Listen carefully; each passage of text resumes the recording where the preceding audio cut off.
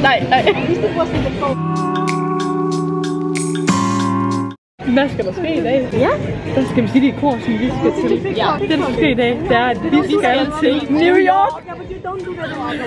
Lina og jeg vi sidder simpelthen i lufthavnen lige nu her, fordi vi skal en tur til New York med vores gamle efterskole. Hvorfor skal vi det? Hvorfor skal vi måtte det? Ja. Det er simpelthen fordi, at vores gamle efterskole, som dengang vi gik på, den hed Ramshavs Minde Efterskole, som nu hedder Svendborg Efterskole, har spurgt, om vi vil med en tur på ja, deres skoletur til New York, og ligesom sådan se, hvad de laver, og hygge med dem og hygge med vores gamle lærere og sådan noget, så det glæder vi os sygt meget til. Og så glæder vi os bare til New York. Ja. Så vi sidder lige på Joe og skal have noget mad, og så skal vi bare afsted afsted. Jeg synes ikke, man skal sige reklame, fordi at vi er blevet inviteret af efterskolen. Så det siger vi lige.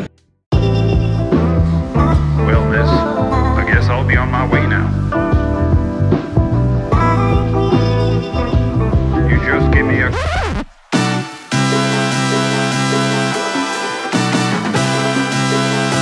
Så går vi bare sådan her. Hej, hej, hej.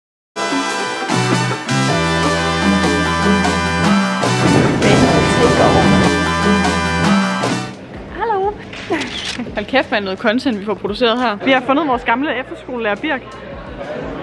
Hey, det er fedt. Prøv at tænke sig, sådan, Birk han har lært os at kende, da vi var 15-16 år gamle, og nu er vi bare 22. Han er sådan, nu er han gået igen, for jeg synes, det var ikke noget med er. Han var sådan, nej, det kan jeg ikke. Hvad hedder du? Jeg hedder August. Jeg har søger en kæreste, August. Nej, det, det gør jeg ikke.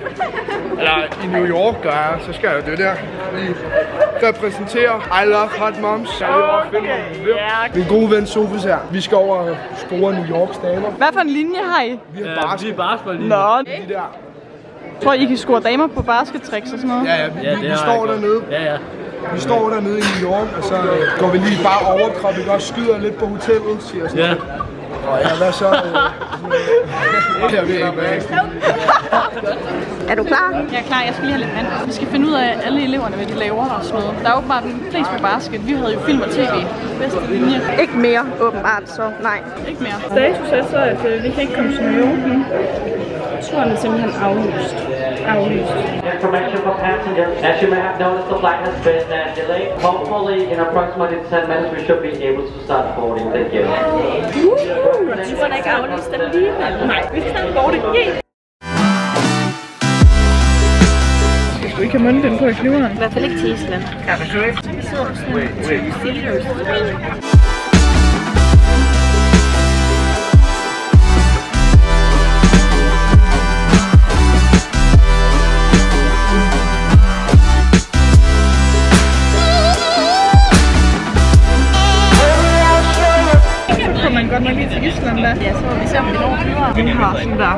minutter til at nå vores næste fly til New York. Altså, vi skal være bortet. Ja, så vi håber godt nok, at vi når at komme til New York i dag.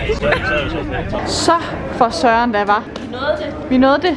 Af her. Nu står vi altså her i den her kæmpe lange gang her. Next up is New York.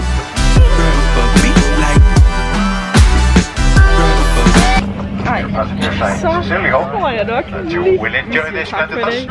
Kan I blive der, øh, mens vi letter? Har du gået direkte i menukortet nu? Ja, jeg er helt gang lettet, og jeg skal bare have all you can eat. Har I egentlig all you can eat her på Iceland? Ja. Prøv lige at se, hvor pæn Island er. I just love this place. Jeg tror lige, at jeg har brug for at spille en sang for jer.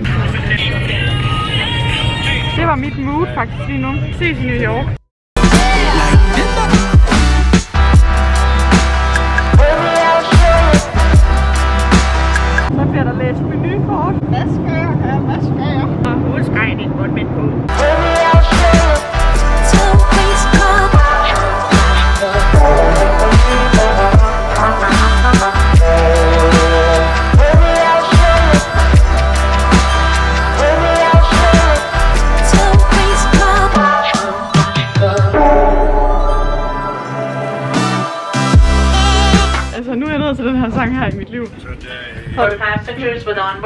For connections to Manhattan, Queens, Long Island, Brooklyn, and the Bronx.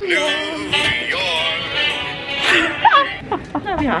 Så var vi her sgu. Status er, at nu ligger vi i sengen, og vi er godt og grundigt trætte. Og derfor så tænker jeg egentlig bare, at øh, vi vil sige, at det er fedt, at vi kommer til New York. Og så vil vi bare vende tilbage igen i morgen med en masse andet, fordi klokken er alt for mange, og jeg er pisse træt. Godnat. Good morning, you guys. Jeg har sgu taget turisthatten på i dag. Vi går ind i elevatoren nu. Vi har fået en god nat søvn nu. Vi er trætte meget stadigvæk faktisk. Puh, ja. Og nu skal vi simpelthen på Starbucks og have os en god kop kaffe. Yes.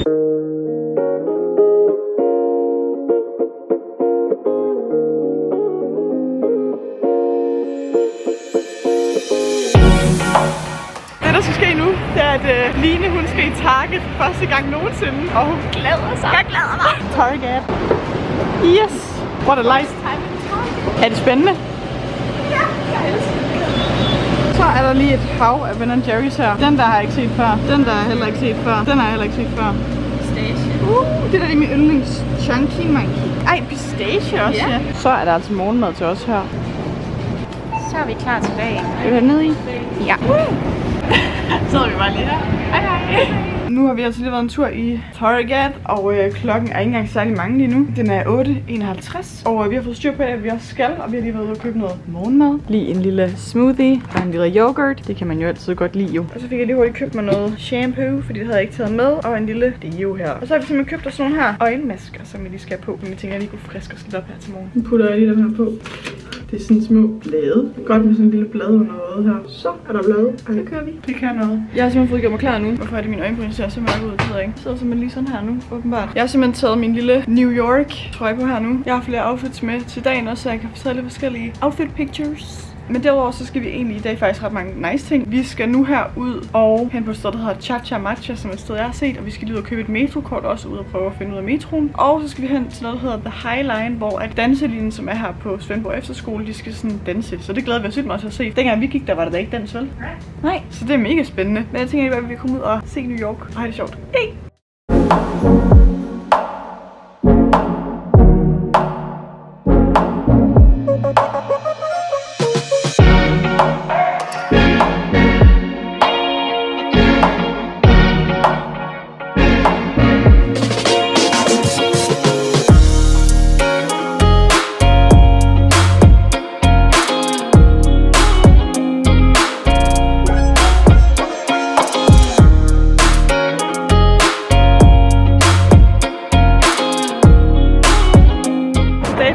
Nu, at vi går her på den her The High Line, som er en gammel togbane eller sådan noget. Vi leder efter danselinjen, men vi kan simpelthen ikke finde dem, så det er noget lort. Så øh, vi er bare mega sultne nu, og så jeg tror, vi vil få noget mad.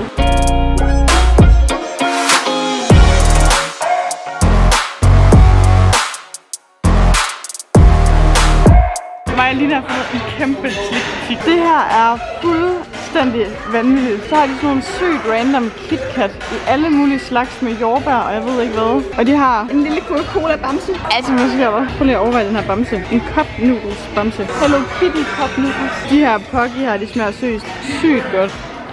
Sig det med blomster. Tænk på, om du vil have den her. Cute. Den blå vil du gerne have. Vil du gerne have den blå?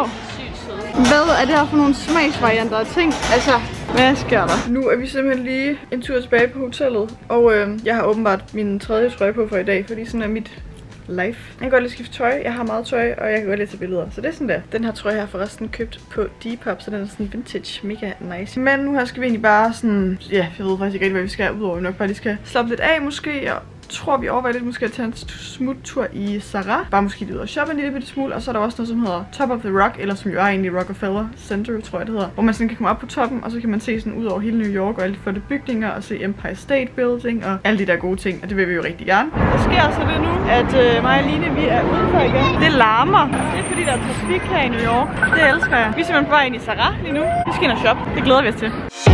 Thank you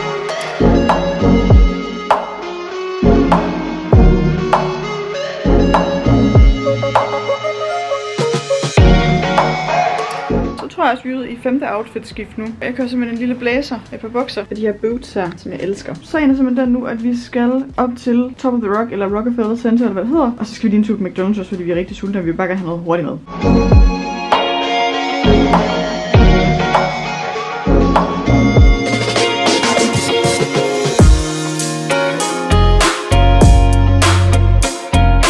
Det er da godt nok ikke vores dag i dag, det er helt sikkert. Vi står ude foran det her Top of the Rock nu, og der er så fuldt booket.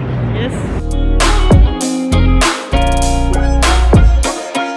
Vi simpelthen tilbage på vores hotelværelse her, og øh, den her aften ligner altså frihedskunden, synes jeg lidt. Der er en anden form for lighed. Jeg ved, det er et spejl. Det er det sgu. Det er sgu da meget sejt egentlig. Det er nok overtrætheden, der taler her. Vi er egentlig bare lige herinde og hygger. Lige nu ligger herovre. Det var lige sådan en halv hotelroomtur, kunne I mærke det? Så I fik lige lov til at se, hvordan den her fine sofa står herovre med zebrapuderne i, simpelthen. Herovre sidder jeg lige og lægger make op. Jeg ved ikke engang, om jeg har vist jer udsigten ud over her faktisk. Prøv lige at se, så kan man bare kigge lige ud i New York. Jeg tror egentlig ikke, at der er så meget andet at sige, end at øh, det har været en succesfuld første dag i New York. Vi har oplevet en masse ting allerede. Vi har haft det grineren, og vi er pivtrætte, fordi at der er jetlag, der kigger ind. Og hvad er klokken egentlig? 21.39.